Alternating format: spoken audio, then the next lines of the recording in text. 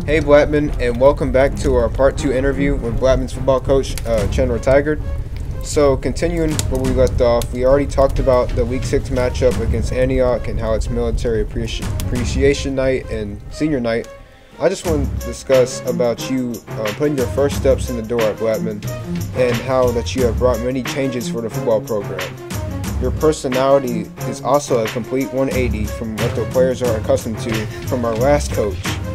Uh, do you feel like you have formed chemistry with these players and the community and have adapted to the uh, Rutherford County system? I think so for sure. So uh, I got hired in January, started in February.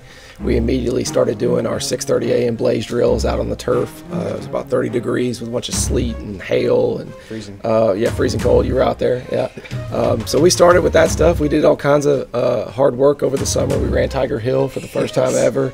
All of us, even even me and you, got up that hill. So Yes. yeah, and I, I've got a great bond with the kids. Uh, love being here, love the team, love the school. Uh, couldn't be a better fit for me, honestly. And it's the first year, and there's so many changes, and 14 new coaches, and all these new players. But uh, so far, it's going really well, and I think we're set up for the future. Yeah, so you already seem used to the Rutherford County area.